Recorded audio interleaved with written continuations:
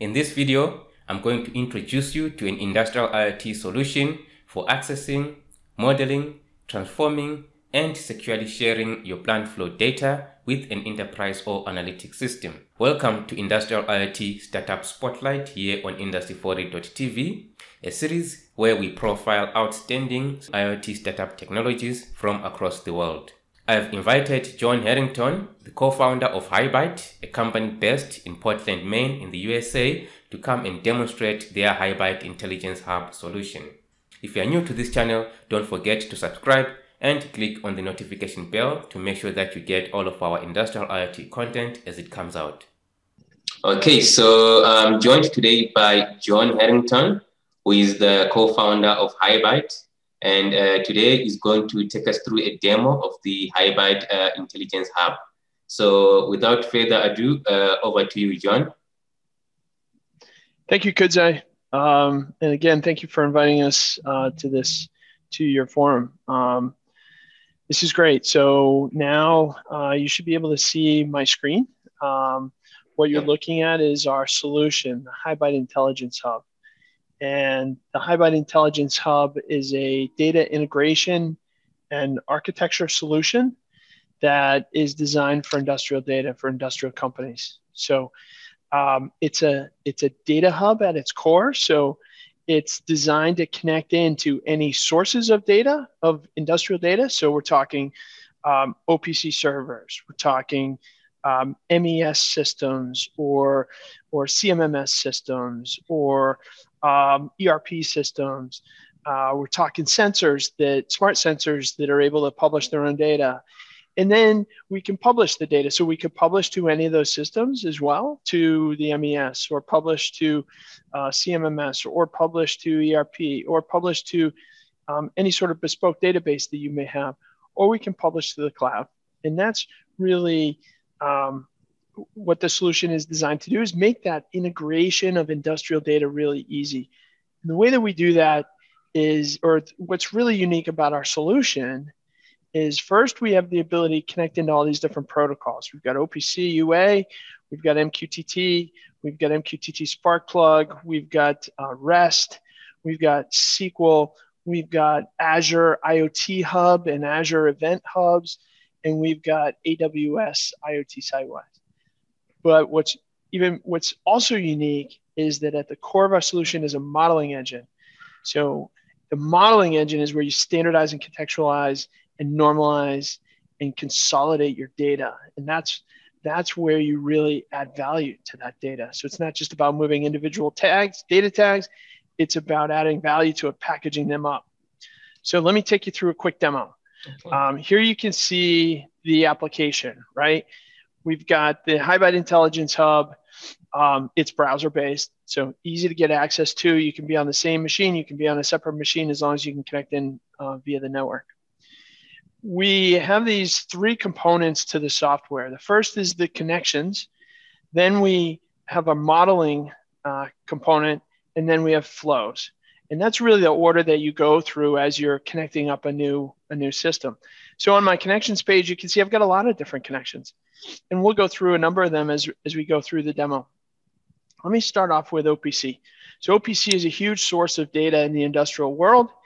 Um, and here I've got, I connected to an OPC server. I've actually got KEPServerEX installed on my demo setup. And that allows me to, for it to be a big source of data for me.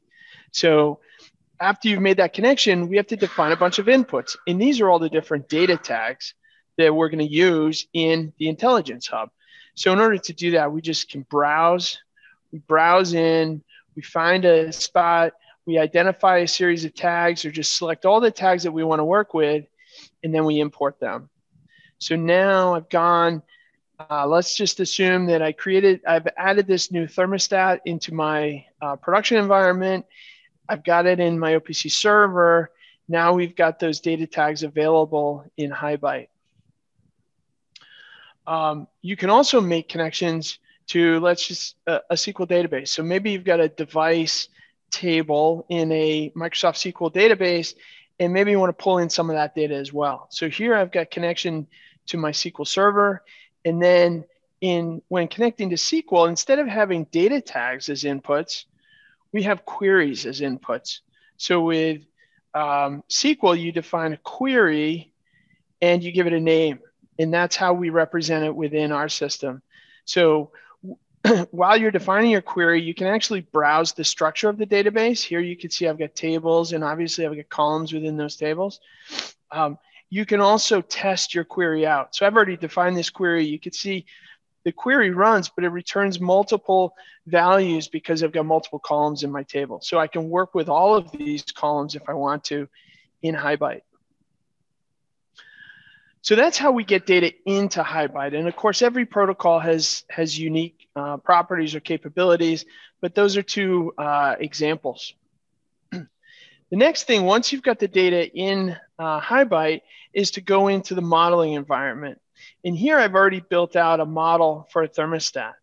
Now, I just made it simple and, and small so that we could quickly go through this uh, demonstration and, and I can show it to you. But you can have very complex and very deep models. In fact, you can have models inside of models so that you can reuse and you can really build out your models based on very logical components um, that you have in your factory. So um, it's, it can be structured and it's very easy to create models. Once you've standardized your models, a model is essentially a series of attributes, data types for those attributes, and if they're required or not. And once we've defined our model, then we just create an instance. So here I'll create an instance. We give it a unique name, call it my thermostat number six, because that's what we're going to model up. And then I get all those attributes again, but now I get an expression field and a default field. Now, the expression field is where we bind our inputs that we browse for on the OPC side, and we bind them to, to our attributes. So let me come in here. I'll scroll down to my OPC server. And then you can see, I can see all of my inputs again. Well, now I can take this temperature and just drag it in.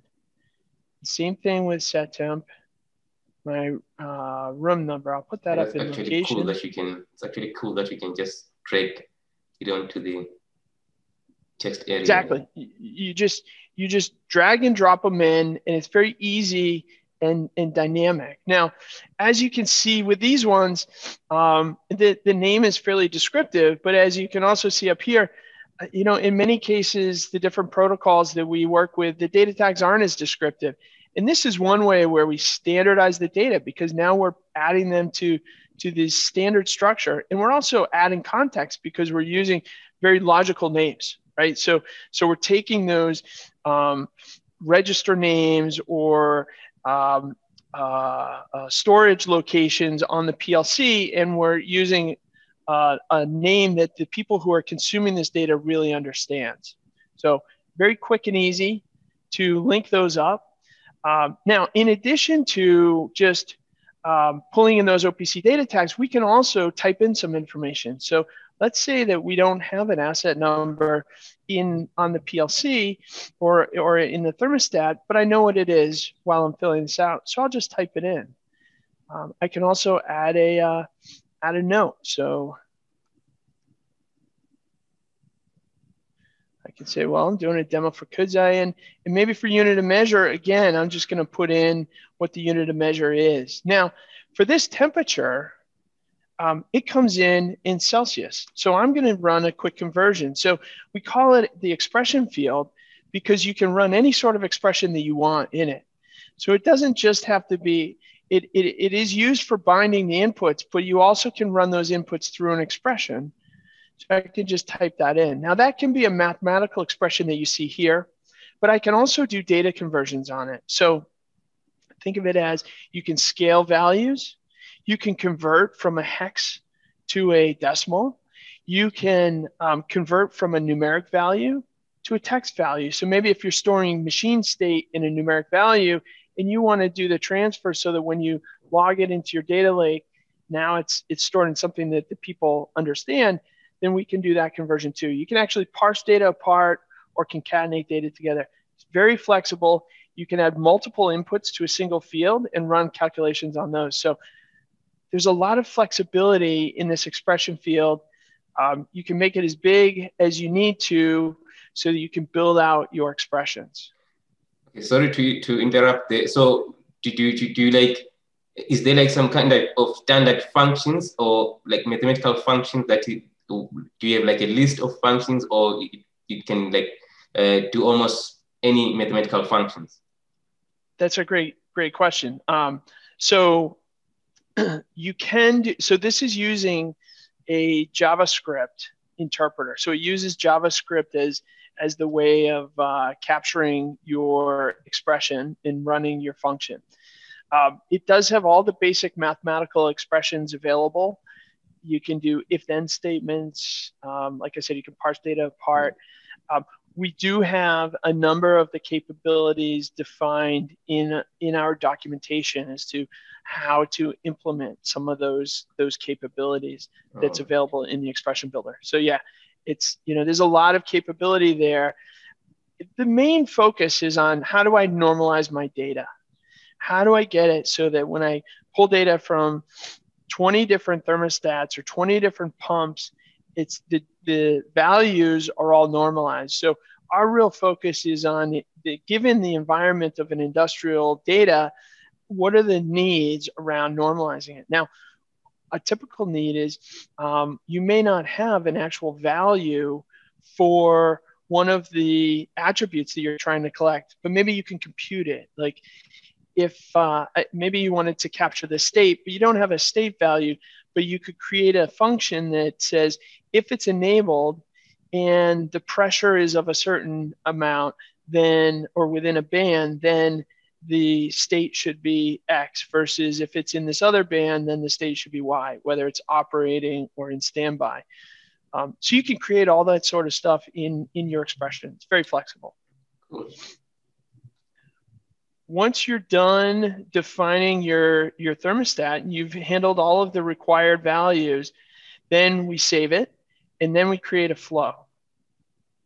So the flow is where we attach that instance, which I've already selected because it came, that's where I started from. And then we attach it to an output. So I'm going to send this out to an MQTT broker. That way we can easily look at the data and we can, um, and then we can make some changes to it and see how it updates. So let me enable that. Um, so now I've gone through, I browsed the OPC data, I brought in a bunch of inputs. We then ran them through our modeling engine, and now we're sending them out.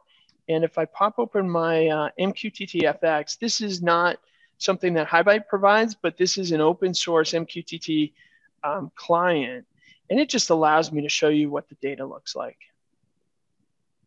So let me pause this, scroll up. Now we can see the structure. So this is the structure of data that I just created, where we pulled in a number of values, we standardized the structure, we normalized the values to, to our unit of measure, for instance, we added some context, and then we sent it out. So that's kind of the basics um, for how to set up the software. But let me get in a little bit more detail. So first thing, I'm sending this out you know, at a frequency, at a constant frequency of once a second. Obviously, we can send it much faster or much slower, and you can change the unit of measure as you want for the interval. You can also turn this into more of an event based scenario. So maybe I only want to send it when the temperature changes, or I only want to send it when the temperature goes over a certain threshold. I can make those changes just by switching it. In this case, I'll switch it to on change, and then I can pull temperature in to my expression. And so now it's only going to send it out uh, when that temperature changes. And I'm not sending out data when nothing changes. You could also say, I only want to send it when it's enabled. Because as you know, in many environments, some machinery doesn't run 24 7, it only runs intermittently. And so you don't want to be streaming all the data off of that piece of machinery constantly when the machine is in a standby mode or non-operational. So it's very easy to set up those sort of event-based or the triggering mechanism such that you can get very specific about when the data gets sent. Oh, cool. You can also publish the data such that it's it's like a time series database. So here I've changed it to only send the changes and only in a compressed format. That way, um, if I enable this again, we'll be able to see that I'm only sending the temperature because it's only the temperature that's changing. You recall that I changed it to only send it when the temperature changes. And with it compressed, this is more of like that time series view. So if you've got a system that is more of a time series database, it only wants changes, we can set that up as well. I'm going to switch this back and then what I'm going to do is go back in and make a few changes to my model and see how it updates. So let me save this. Now, I had shown you um, in the, uh, I had shown you the SQL connection and shown how we can uh, make connections to SQL. Well, let's use one of those. Let's use some of those data points. So instead of pulling the asset number and just typing it in, maybe I want to pull that out of a out of a, a database. I can come in here, select my device SQL connection, and now I get um, all those queries again. Now I can expand a query because I don't just take all the data. In this case, I only want that asset ID. So I'm going to put the asset ID in there. And now it's going to be streaming this asset ID from the database. So now I've combined not only OPC data, but SQL data into a single model. And now, um, if I unmute this and we take a look at the data, we should be able to see that now we're streaming out that asset ID that came out of my SQL database. The next thing I want to show you is we can extend the model. Okay, so sometimes, uh, you know, we build a model and then we realize we really want to include some additional data with it.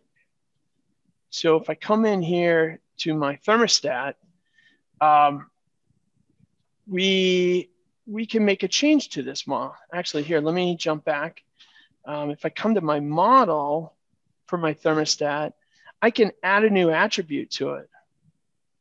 But in my case, I want to combine my thermostat data with data from um, from a web service because maybe I want to pull some, you know, this is a thermostat. Maybe I want to know the ambient temperature outside to be able to do my analytics to see how my um, how my heating is is going. So in order to do that, I can change my model, and instead of selecting a primitive, I can add in my weather service. Let me just type in weather and select my weather station. So now I'll just put in local. Local weather, and we'll save this. Now I had already created this weather station model and it has a series of values that come with it. So temperature and humidity and barometric pressure. So I'll be able to compare this data with my thermostat data that I'm pulling out of my factory. Now, if I come into usage and take a look at the thermostat that we already built out for thermostat number six, when I scroll down, now I can see that I can add a weather station.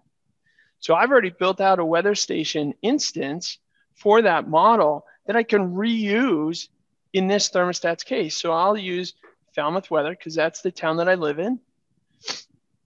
And you can see I've already mapped in a series of attributes. So this is a REST service that I'm pulling across the internet. And I've mapped in all these different values. If I save this and we turn this on, we'll be able to see how we can very quickly extend that model, extend it to another system. And so now we're pulling in all of those values from the thermostat as well as some values from another third party system. So the key here is you define the models based on how you want to capture the data and structure it based on how you need to structure it. And it can be, it can have models inside of models. You can reuse them across multiple machines. You can uh, pull in data, aggregate data from multiple systems all into that one object and then I could send this object up to the cloud, for instance, for analytics purposes, or into a database or into an MQTT broker. So there's just lots of potential there. And the key is to structure the data as you need it, to standardize and normalize and contextualize the data, and reuse as much as you possibly can. Cool. Any questions? I showed you a lot, but you know, hopefully that that made sense and and the capabilities and flexibility. Yeah, um, yeah, because yeah, it's straightforward. It's quite straightforward. Eh? Very easy to use. Mm. Tried to design it so that it, it's very logical in the way that you um, create connections, create inputs, the way that you create models and then instances, and then create a flow to send that data out. Um, so lots, lots of uh, just a real um, straight up environment to manage the integrations to different systems, be able to merge and, and add value to that data. Awesome. So does this run as a as a service? Is it always up, uh, uh, or do you, do you need to to to to to to start it somehow? Is, does it automatically yeah. run when the PC starts, or how does it work? So so great questions. Um, the architecture of the intelligence hub is actually there's two pieces to it. There's the runtime, um, which is a service, and then there's the uh, configuration application, which runs in a web web server.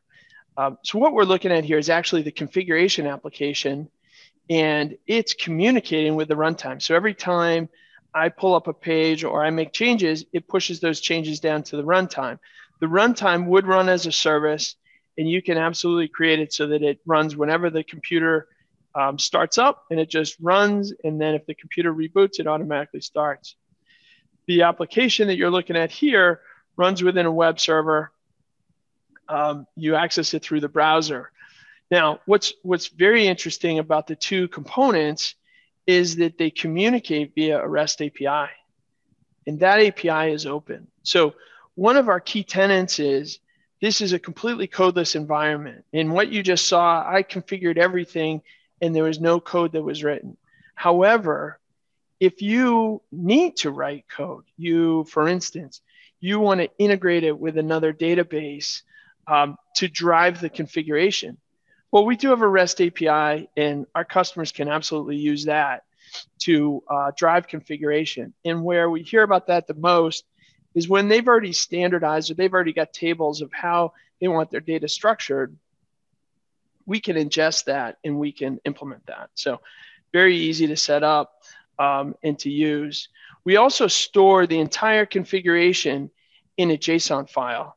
So um, it's very easy to, um, to view that and make changes if you need to, or to programmatically load things. So um, we used very open technologies when we designed the HighByte Intelligence Hub. And whenever we're storing files, we're storing them in a way that you can access and you can make changes to. Whenever we're using connections between applications, we're using open protocols and that sort of thing. So it's, it's very much designed with the latest and greatest technology available uh, for people to use. Oh, okay. So, so, so you, you, can actually export this configuration and then import it into another HighByte Intelligence Hub uh, instance. Exactly. Exactly. Oh, awesome. And I can tell you that um, we are already started planning for a 2.0 release that will be this summer of 2021. And in that release, you'll have a single portal to be able to manage multiple hubs. So um, it's not there yet. It's it's in the early planning stages, but we had designed it and architected it so that we could ultimately get here and allow you to define a set of models and then push them out to the different hubs. And that way you can really standardize your data and you've got some level of data governance so that, you know, we envision the data hub, the intelligence hubs to be run um, certainly on premise the majority of the time, um, typically very close to the industrial data sources, so close to the OPC servers. But what you want sometimes is to have a central way of, of governing the models. So, to the you could imagine the OT team would apply those models to the data, but the IT team maybe or the data scientist would define the model. So, so there's there's going to be that capability as well. Awesome, great stuff. Thank you so much for the for, for the demo, uh, John. And um, uh, I look forward to actually playing around with it uh, some more and, Yes. and discovering some stuff uh, for myself. And then I'll also be pushing some questions through to you. And if any of our audiences also have got some questions, I'll make sure that they, they, they get through to you. So thank you so much for Great. joining us Great. today. And thank you, Kudzai. And I would only say um, we would love to be able to uh, to demonstrate to anyone that would like um, us to engage with them and to talk with them. Uh, we have put out a lot of information on our website. We also have a lot of information on our YouTube channel uh, with a number of videos. So there's this video that we're doing with you, but we've also got some instructional videos on our YouTube site that people can go to if they have question, if they you know want to, you know, for instance, the installation process. You can just go and, and watch that. It's, it's like a five minute video, and then you can do the installation on your own. So um, lots of content out there, and we would love to talk with anyone that's interested. Awesome. awesome. Maybe just one more thing. Is it, do you have a trial version of this? Or how does it work? we do have a trial. Okay. Yes, we can set you up with a trial version. Um, just reach out to highbyte.com. Um, on that page, go to uh, products and you can request a trial, and uh, we'll set you up and we'll send you out a trial. And um, you know, we're looking for we're constantly looking for feedback. We're designing this to be to solve problems for for people in the industrial space. So if you're in the industrial space and this doesn't quite meet your needs, reach out to us because we want to know about them and we want to solve your data integration uh, problems. Awesome stuff. Okay. Thanks again, John, for joining us today. Thank you, Kuds. I appreciate the uh, opportunity to talk with you.